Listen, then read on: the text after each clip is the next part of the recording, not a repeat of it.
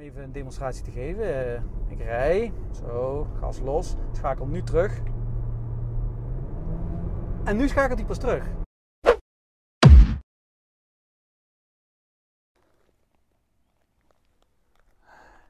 En dit is dus de Audi Q3 Sportback. Ja, logisch hoor ik natuurlijk al denken. Dat heb ik in de videotitel ook wel gezien. Klopt, maar dat weinig gescheeld of dit was een Audi Q4 geweest. Of misschien zelfs een Audi TT crossover. Want Audi die speelt al een tijdje met het idee om in deze compacte klasse een iets sportiever gelijnde eh, SUV te maken. Uh, er waren eerder dus al showcars van een soort van crossover TT. Het idee was ooit om de TT-familie uit te bouwen. Of om de TT uit te bouwen tot een hele familie. Dus met een vierdeurs en een SUV en weet ik het allemaal wat. Uiteindelijk hebben ze besloten, nee, we laten de TT als icoon staan. Wat de Q4 betreft. Ja, kijk, er is natuurlijk ook een Q7. Er is een Q8 van gemaakt, een soort van coupé-versie. Dus je zou zeggen, de coupé-versie van Q3 heet Q4. Maar ze komen natuurlijk ook met allerlei elektrische modellen. En uh, een van de aanstaande modellen is de Q4 e-tron. Die zal ongeveer dit formaat hebben. En ja, die heeft een beetje die Q4-naam al ingepikt. Q3 Sportback dus. Meer dan 80% van de onderdelen carry-over van de gewone Q3. Dat zegt Audi heel eerlijk. Er is niet zo heel veel verschil. Het is natuurlijk vooral een auto waarbij het gaat om design. Nou, wat hebben ze gedaan om er een iets stoerder model van te maken? We beginnen aan de voorkant. Dat is namelijk heel makkelijk. Vrij weinig. Uh, de grill is anders. Kijk, Audi Q-modellen hebben altijd uh, verticale spijlen. En de sportievere, de S en de RS-modellen, die hebben een honingraad. Dus we hebben gedaan, een combinatie honingraadmotief met deze inserts, zodat je toch de verticale spijlen krijgt. Maar voor de rest, bumper hetzelfde, motorkap hetzelfde. Zelfs deze, dit voorspatbord is identiek. Maar wat hij wel doet, is deze lijn, hier als je eenmaal bij de deur aankomt, de deur is namelijk wel anders, dan is het anders. Kijk, bij de Q3 worden deze lijn en deze met elkaar verbonden. Maar omdat je natuurlijk een soort van langgerekter, lager profiel hebben voor een auto als dit, hebben ze die lijn iets omlaag getrokken en aangevuld met deze enorme hap eruit. Waardoor de auto, als je een afstandje neemt, ja, inderdaad, optisch ietsje lager. En uh, daardoor dus ook dynamischer is geworden. Je moet hem heel eerlijk gezegd in het echt zien om dat uh, te kunnen waarderen, het effect daarvan. Het is ook niet alleen optisch hoor. De auto is in zijn geheel 3 centimeter lager, dus de A-stijl ligt ietsje vlakker, het dak is lager. Dan heb je natuurlijk hier nog een aflopende daklijn, waardoor uh, dit apparaat zelfs 5 centimeter lager ligt dan bij de Q3. Achterspatbord om die reden wel totaal anders en dat is om hem iets breder te maken. Kijk, je hebt natuurlijk hier die aflopende daklijn om te zorgen dat de auto dan niet ielig wordt. Hebben ze hem ietsje langer verder naar achteren doorgetrokken, meer rechtop en breder, waardoor je dus echt die dikke coupé-reet krijgt, om maar even zo te zeggen. En dan is dus de uitdaging bij een auto als dit om hem te maken tegen minimale kosten. Want het is natuurlijk een niche model, je wilt niet een compleet nieuwe auto ontwikkelen, je moet een Q3 blijven. En uh, dus je moet lage kosten houden, maar ook heel belangrijk, je moet het wel kunnen verkopen. Dus je moet qua praktisch comfort minimaal inleveren. Wat zie je dus op papier? Kofferbak, ondanks die aflopende daklijn en andere achterkant, identiek. Hij is ietsje lager, maar door die rechtop staande klep ook ietsje langer. Dus gelijk aantal liters. Nou is natuurlijk een kwestie van meten, want wat je ziet is natuurlijk die daklijn die loopt sterk af.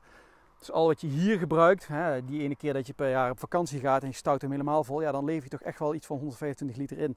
Um, als je de banken plat gooit en dergelijke. Nou, hoe ziet dat er dan uit? Zo voor gemiddeld dagelijks gebruik ruim zat. Dat is dan natuurlijk wel typisch Duits. Ze kunnen zich niet al te grote frats permitteren qua centimeters. Dat moet allemaal op orde zijn. Wat lever je nog meer in? Iets aan hoofdruimte. Het dakje ligt dus lager. Daardoor uh, iets minder hoofdruimte. Wat ze dan wel hebben gedaan, de achterbank is standaard verschuifbaar. Dat is heel netjes. Zou eigenlijk SUV eigenlijk moeten hebben. Maar dan niet over 15, maar over 13 centimeter. Omdat je hem 2 centimeter minder ver naar achter kunt schuiven. Omdat je dan helemaal geen hoofdruimte overhoudt. Dus iets minder beenruimte, iets minder hoofdruimte. Maar als je over 1,80 meter bent, dan kun je er als volwassene nog steeds prima zitten. En dat was het eigenlijk wel. Ja, zullen we hier dan ophouden met het filmpje? Nee, we gaan er toch voor zekerheid maar in rijden. Ook al is het, zoals Audi zegt, min of meer een eh, Q3. Maar dan eentje die door uh, de hele prijslijst om ongeveer 3000 euro duurder is um, dan de Q3 waarop hij gebaseerd is. Maar er is toch nog wel ietsje om over te vertellen. Sowieso wordt hij standaard uitgerust met een sportonderstel. En uh, de variabele besturing. Maar ook hier onder de motorkap is iets nieuws aan de hand. 1.5 TFSI turbomotor, 150 pk, maar met mild hybrid electric drive en uh, gekoppeld aan een uh, S-tronic automaat. Toch reden genoeg om dus toch even instappen, klein blokje om en te kijken of de Q3 Sportback nou echt de sportieve crossover is die je moet hebben. Of misschien toch de Evoque of de BMW X2 of een van de andere concurrenten. We gaan het zien.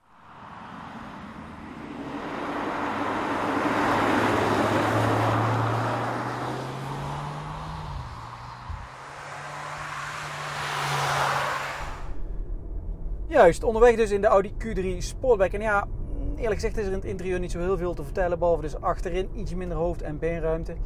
Swa, voor de rest identiek. Is dat het probleem? Nee, want het is een Audi. Een Audi staat bekend om hele mooie interieurs. Is in dit geval natuurlijk ook. Het is natuurlijk ook net hoe je het zelf aankleedt. Maar mooi aankleden kun je het. Strak is het. En qua infotainment is het ergonomisch gezien erg goed. Nou, dat is dus hartstikke mooi. Daar kunnen we dan bij laten. Gaan we door naar de besturing en onderstel. Standaard is een sportonderstel. En dat betekent dat het toch ook wel een ideetje is om variabele dempers te nemen. Veerspanning iets hoger. En je wil grote wielen, want het is een Audi Q3 Sportback. Die moet er, toch mooi uitzien. En uh, ja, dan merk je toch wel, we rijden nu dus met die variabele dempers. In de sportstand is het allemaal wel vrij hard. En in de comfortstand gaat het natuurlijk vooral als je in Nederland rijdt. Dan zijn de wegen nou eenmaal gewoon heel goed. Daar is het prima. Echt sportief wordt je natuurlijk niet van. Het is een Audi, je hebt die dynamische besturing heet het dan. Maar het is ja, dus een rek waarbij je, naarmate je meer instuurt, wordt die, gaat hij steeds directer sturen. En dat zorgt ervoor dat je eigenlijk altijd met je handen netjes een kwart over drie kunt rijden. Maar tegelijkertijd ook dat de, de feedback, het gevoel, ja, dat is eigenlijk gewoon nihil. En als je echt een beetje houdt van rijden, dan is het soms ook wel lastig om precies de goede stuurhoek in één keer te vinden. Omdat je natuurlijk, ja, omdat die steeds meer instuurt naarmate je instuurt. Misschien is het een kwestie van wennen, misschien is het een kwestie van voorkeur. Ik hoef het in ieder geval niet per se te hebben. Maar ja, het zit standaard op, dus eh, je zult ermee moeten leren leven. Is het ook echt heel erg? Nee, natuurlijk niet. Het is alweer zo uitontwikkeld dat het ook wel een soort van fijn werkt. Prima dus. Overigens, je kunt, als je geen sportonderstel wil, ook kosteloos een comfortonderstel uh, eronder laten monteren. Dan heb je waarschijnlijk de variabele dempers ook niet eens nodig. Doen dus. Um, aandrijflijnen dan. Ja, het is een auto die uh, nu op papier een heel stuk duurder lijkt dan uh, de Audi Q3. Maar dat is ook vooral om, vanwege de versies die te koop zijn. Uiteindelijk is hij dus, als je echt gelijk kijkt naar uh, precies het uitrustingsniveau, ongeveer 3000 euro duurder. Afhankelijk van de motorisering. Vooralsnog is hij alleen met 230 pk 2 liter TFSI en een, uh, en een diesel. En ja, in Nederland gaan we vooral rijden met deze versie. Dat is de 150 pk, um, 100 of uh, 1,5 liter turbo, dus met mild hybrid drive. 48 volt boornet, dus met zo'n enorme oversized dynamo die in korte tijd heel veel remenergie uh, kan recupereren en tegelijkertijd ook die weer uh, terug in een aandrijving kan stoppen in de vorm van ja, gewoon een elektrische slinger. Dus het is een elektromotor die heel groot is, daardoor in korte tijd veel kan recupereren en ook in korte tijd weer een flinke slinger eraan kan geven. En dat heeft allemaal effect op het verbruik. Het is namelijk niet dat je extra vermogen krijgt door die heel dynamisch aanvoelt, maar op het moment dat die dynamo die slinger geeft, dan zorgt hij ervoor dat de motor juist ietsje uh, terugpakt, waardoor die minder brandstof verbruikt overal. 0,4 liter op 100 kilometer besparing op papier. Daardoor in Nederland natuurlijk wel lager in de CO2 en dat zal gunstig zijn voor de aanschafprijs van deze auto. Deze versie hebben we nog geen prijzen van, omdat die nog niet helemaal uitgehomologeerd is. Um, ja, en het punt is, de andere versies die we nu op prijslijst zien zijn of diesels of dus dikke motoren met vierwielaandrijving. Waardoor je in één keer niet iets van 6 of 7000 euro BPM betaalt, maar 14, 15, 16 of nog wel meer 1000 euro. Maar ja, waardoor het al met al best wel een prijzig apparaat wordt. Is ook niet per se een erg probleem in deze uh, sector. Ik bedoel, als je kijkt naar de Range Rover Evoque, dat is ook niet bepaald een heel goedkope auto. En de BMW X2 ook niet. Maar goed, hoe presteert deze aandrijflijn? Nou, eigenlijk om in één woord te zeggen, nogal traag. S-tronic versnellingsbak. Zo'n typisch uh, ding natuurlijk met dubbele koppeling. Maar goed, normaal gesproken laat je natuurlijk ook in automaatstand staan. Maar uh, om even een demonstratie te geven. Uh, ik rij, zo, gas los, schakel nu terug. En nu schakelt hij pas terug. En dat is wel echt een hele flinke vertraging. En ook de kickdown die je krijgt als je het automatisch laat doen. Het lijkt allemaal wel heel erg op comfort of misschien ook wel op verbruik te zijn afgesteld. Wat je natuurlijk steeds vaker krijgt als je ingenieurs vraagt... Nou, waarom voelt deze motor zo traag en waarom schakelt het traag? Ja, het is allemaal emissie dit, dat. Het moet allemaal binnen de wetgeving die door Europa wordt voorgeschreven... moet het worden afgesteld. Maar hetzelfde geldt dus inderdaad ook voor die motor. Rijden de derde versnelling, rijden 50 km per uur... 2700 toeren, geeft nu gas...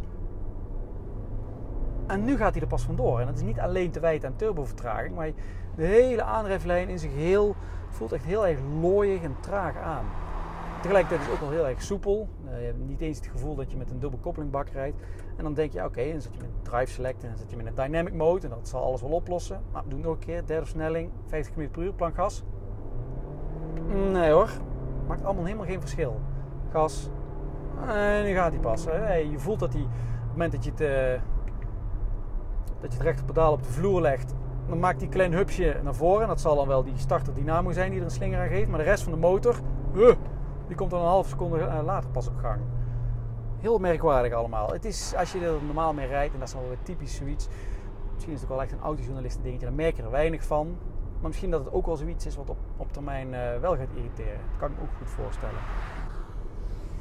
Ja, maar normaal gesproken, het is ook weer, net als alle andere moderne turbomotoren, een ding wat tussen 2 en zeg 5000 toeren heel veel trekkracht heeft, lekker soepel loopt. Daarboven gaat hij wat hees klinken.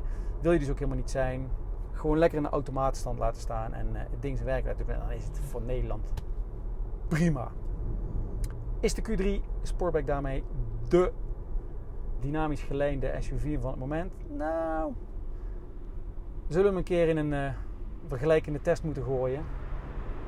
Liefst met die uh, Evoque Misschien nog een BMW X2 erbij en dan zullen we zien wat wat is. Sterke punten is in ieder geval interieur, redelijk praktisch, nog steeds. En ja, in de juiste configuratie. Erg fraaie auto om te zien. Nou, ik even kijken of ik aan die aandrijflijn kan wennen.